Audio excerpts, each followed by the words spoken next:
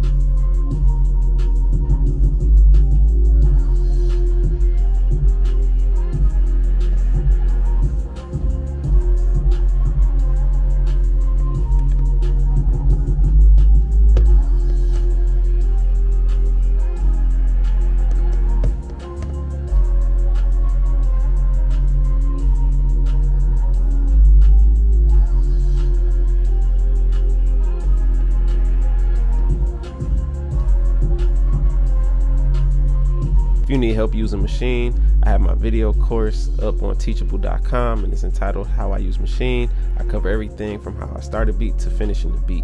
The link is in the description below, so if you need help with Maschine, go check that out. Hopefully, you enjoy the video.